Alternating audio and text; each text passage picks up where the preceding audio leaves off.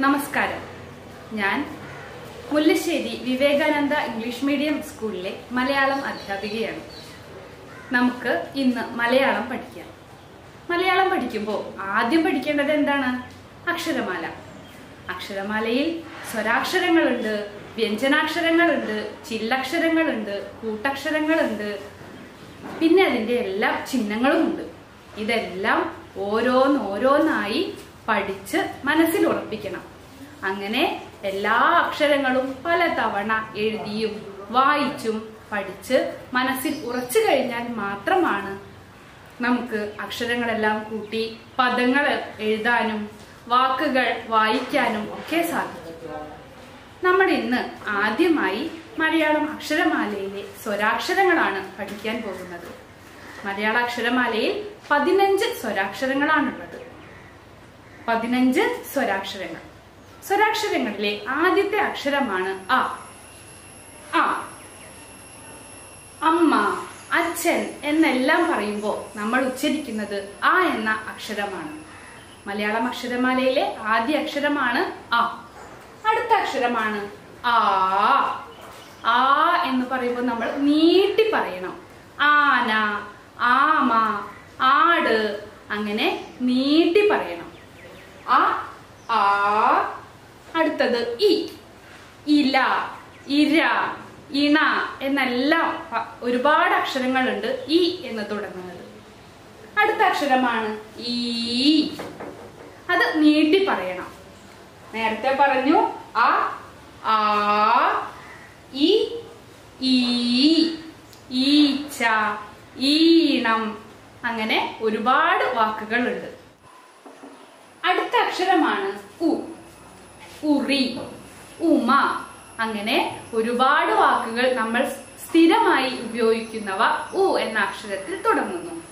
നമ്മൾ ആദ്യം പറഞ്ഞു ആ പിന്നെ നീട്ടി പറയണം ആ അടുത്തത് ഇ പിന്നെ നീട്ടി പറയണം ഈ അടുത്ത അക്ഷരം ഉ അത് നീട്ടി പറയണം ഊ ഊതി ഊഞ്ഞാൽ ഊമ അങ്ങനെ ഒരുപാട് വാക്കുകൾ ഊ എന്ന് തുടങ്ങുന്നു. അടുത്ത അക്ഷരമാണ് ഋ. ഋഷി ഋഷഭം. എന്താണ് ഋഷി? സന്യാസിയെയാണ് നമ്മൾ ഋഷി എന്ന് പറയുക. അതുപോലെ കാളയുടെ മറ്റൊരു പേരാണ് ഋഷഭം. ഋ എന്ന അക്ഷരത്തിൽ തുടങ്ങുന്ന വാക്കുകളാണ് ഋഷി ഋഷഭം എന്നിവ. അടുത്ത അക്ഷരം എ. എ. എല്ലാവരും ഒന്ന് പറഞ്ഞു നോക്കണം. എ.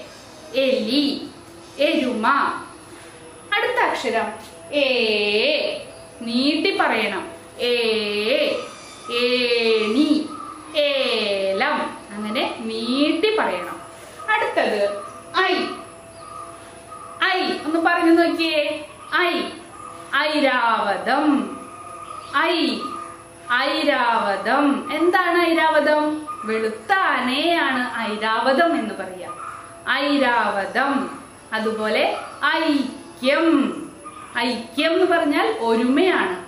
എല്ലാവരും ഒത്തൊരുമയോടെ നിൽക്കുന്നതിനെയാണ് ഐക്യം എന്ന് പറയുന്നത്. ഐക്യം. അടുത്ത അക്ഷരമാണ് ഓ. ഓ. ഓ എന്ന് പറയുമ്പോൾ നമ്മൾ ഒരുപാട് വാക്കുകളുണ്ട്. ഒരുമ. ഓ എന്ന അക്ഷരത്തിലാണ് തുടങ്ങുന്നത്. അടുത്ത അക്ഷരം നീട്ടി പറയണം. ഓ നീട്ടി പറയണം. ഓല ഓന്ത്. അങ്ങനെ നീട്ടി പറയണം. അടുത്ത അക്ഷരമാണ് ഔ. നമ്മൾ പറഞ്ഞു നോക്കിയേ. ഔ ഔഷധം. എല്ലാവരും അസുഖം വരുമ്പോൾ മരുന്ന് കഴിക്കും. ആ മരുന്നിന്റെ മറ്റൊരു വാക്കാണ് ഔഷധം. അടുത്ത വാക്ക് അം. അംബുജം. എന്താണ് അംബുജം? താമരയാണ്. എല്ലാവർക്കും താമരപ്പൂ ഇഷ്ടമാണ്. താമരപ്പൂവിന്റെ മറ്റൊരു വാക്കാണ് അം. അംബുജം. സ്വരാക്ഷരങ്ങളിലെ അവസാനത്തെ അക്ഷരമാണ് ആ. ആ എന്നെഴുതി രണ്ട് ചെറിയ പൂജ്യങ്ങൾ ഇടണം. അപ്പോൾ ആ എന്ന് വായിക്കാം. അപ്പൊ നമ്മൾ മലയാളം അക്ഷരമാലയിലെ സ്വരാക്ഷരങ്ങളാണ് പഠിച്ചുകൊണ്ടിരിക്കുന്നത്. പതിനഞ്ച് സ്വരാക്ഷരങ്ങളാണ് അക്ഷരമാലയിൽ ഉള്ളതെന്ന് നേരത്തെ പറഞ്ഞു. നമുക്ക് അത് ഓരോന്നോരോന്നായി വായിക്കാം. ആദ്യത്തെ അക്ഷരം ആ ആ ഇ ഉ ഊ ഋ എ ഏ ഐ ഒ ഓ ഔ അം ആ ഒന്നുകൂടി പറയാം അ ആ ഇ ഈ ഉ ഊ ഋ എ ഏ ഐ. ഓ ഓ ഔ. അം ആ അപ്പം മലയാളം അക്ഷരമാലയിലെ സ്വരാക്ഷരങ്ങളാണ് നമ്മൾ പഠിച്ചത്. പതിനഞ്ച് അക്ഷരങ്ങളാണുള്ളത്. എല്ലാവരും പലതവണ വായിച്ചും എഴുതിയും സ്വരാക്ഷരങ്ങൾ മനഃപ്പാടമാക്കണം അപ്പോൾ നമുക്ക് അടുത്ത ക്ലാസ്സിൽ കാണാം. താങ്ക്